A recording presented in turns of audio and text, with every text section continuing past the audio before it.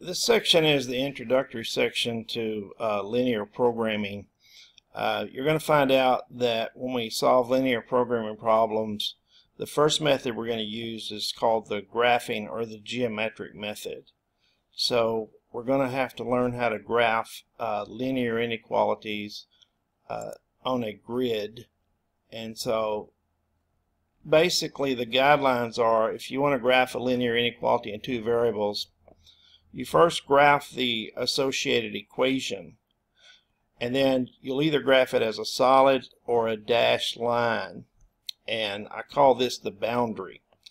Now if the inequality has the equal to with it like less than or equal to greater than or equal to you use a solid line but if it doesn't have the less the less than or equal to if it just has the less than or the greater than you'll do a dashed line.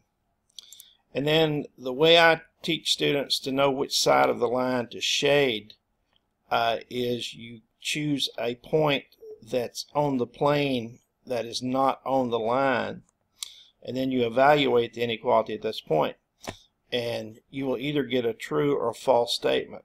If you get a true statement you shade the same side of the boundary that your test point is on. If you get a false statement you shade the opposite side. So let me do a couple of examples here.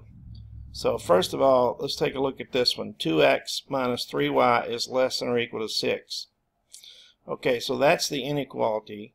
And so what I'll do is I'll graph the boundary, which would be 2x minus 3y equals 6. And you know how to graph these lines. We've done it before. Just uh, find the uh, x and y intercepts. If x is 0 uh, you can solve it for y. y would be negative 2. And if y is 0, solve for x and get 3. So then um, you would uh, identify or you know plot your your two intercepts here. And then uh, let's look and see if we have the equal to. So we do. We have less than or equal to. So when you draw the line through them, it's going to be a solid boundary. So the boundary line is going to be solid.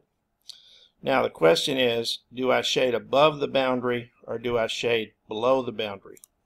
So do I shade above it or do I shade uh, below it? Alright, so the question is which side should I shade?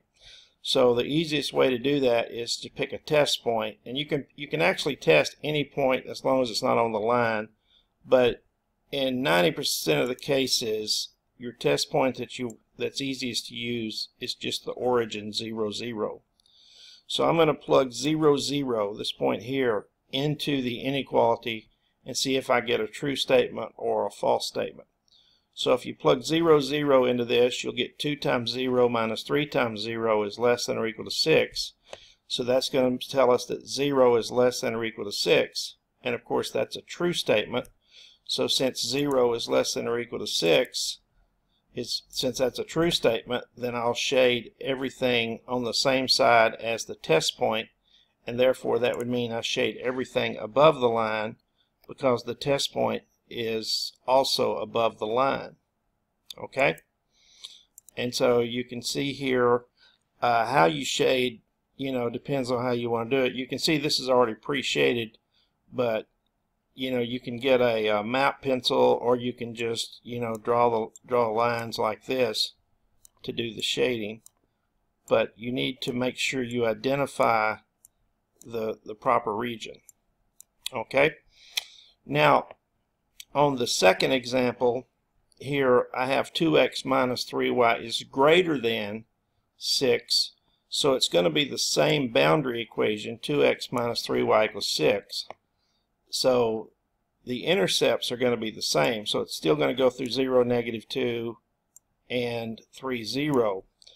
But notice with this one, I don't have the equal to.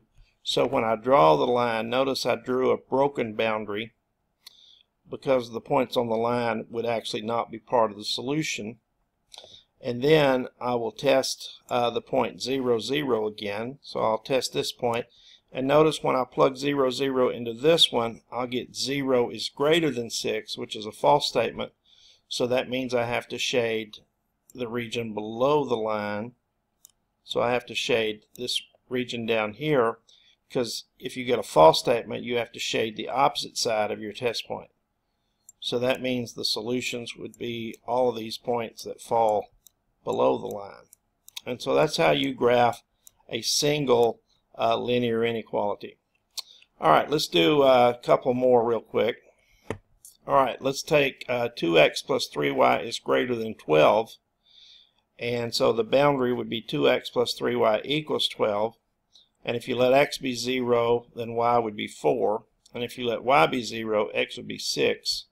So this line goes through the point 0, 4, which is right there, and the point 6, 0, which is right there.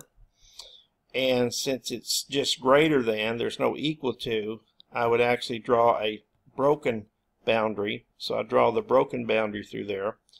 And then I'm going to test uh, the point 0, 0. And when I test this point 0, 0, if I plug it into this, I'll get 0 is greater than 12, which is false. And since this point lies below the uh, boundary, I actually have to shade the points above the boundary. So I shade I shade the points above the boundary so that would give me this region on this side of the line and that would be the solution. And then the next one here is 2x plus 3y is less than or equal to 12 same boundary so therefore I'd have the same intercepts. So again it's going to go through the point 0 4 and 6 0 this time it will be a solid line because it has the equal to with it and again, if I test 0, 0 for, for this uh, inequality, I'll get a true statement because if I plug 0, 0 in here, I get 0 is less than or equal to 12, which is a true statement. So I would shade the same side as my test point, and this time it would be below the line. So I would shade, you know, everything, whoops, everything below the line. So again, uh, you can see I've already got these pre-shaded for you. Now, if you have uh, something like x is greater than 3, then the boundary would simply be this line right here, uh, which would be this line x equal 3 is a vertical line. So your boundary there would be, let me draw that, just identify it for you. This is the line x equal 3. And notice I drew a broken line because I have x is greater than 3, but not greater than or equal to. Now on this one you can just use common sense. Here's x equal 3. Every, every place on this line x is 3. So just think, okay, which side of this line would x be greater than 3? Well, it would be all the points to the right of the line. So you would shade everything to the right of the line for x is greater than 3. Now the next one here, y is less than or equal to negative 1. Okay, well here's the x-axis right here, so let me just label that for you. And so the line y equal negative 1, the boundary line here, y equal negative 1, would actually be this line right here that's going across there. So that's the line y equals negative 1. And notice I did a solid, I have a solid boundary. Let me just get that out of the way. But anyway, that's the line y equal negative 1 and that's a solid boundary because I have less than or equal to negative 1 and then just ask yourself well where's y less than negative 1 would it be above y uh, this line or would it be below it? Well since this line represents all values for y equal negative 1 y is less than negative 1 would be below it. So I would shade everything below the line. Okay? And then to wrap it up let me just show you some graphs about the quadrants. If you wanted to graph everything greater than or equal to zero, you would simply graph, since this is the line, the y-axis is actually the line x equals zero, so you would, this would be your boundary, the y-axis, and then greater than zero would be to the right, so you would just shade everything to the right of the y-axis.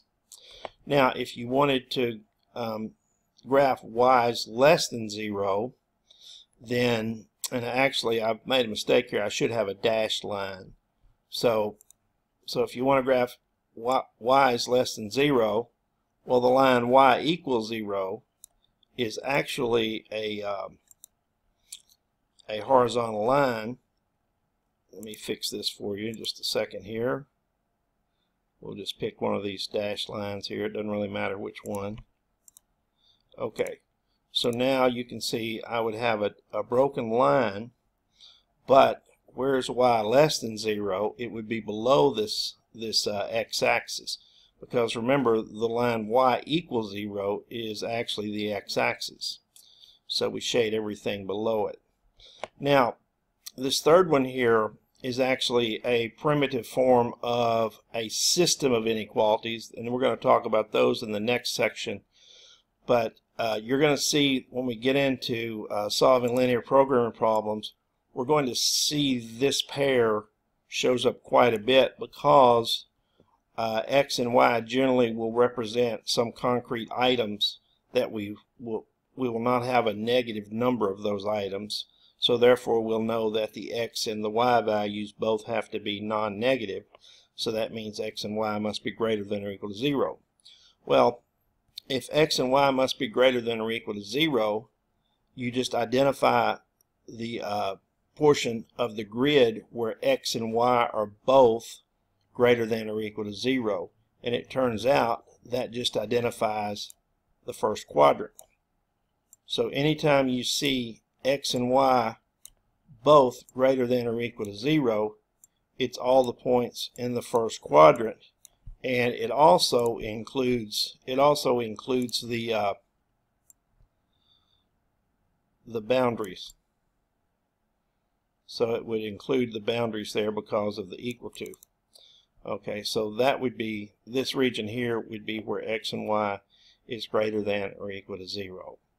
So this I covered this section in just one video because uh, it's really just an introductory section to graphing a single uh, linear inequality and in the next uh, video I'm going to show you how to graph systems of linear inequalities.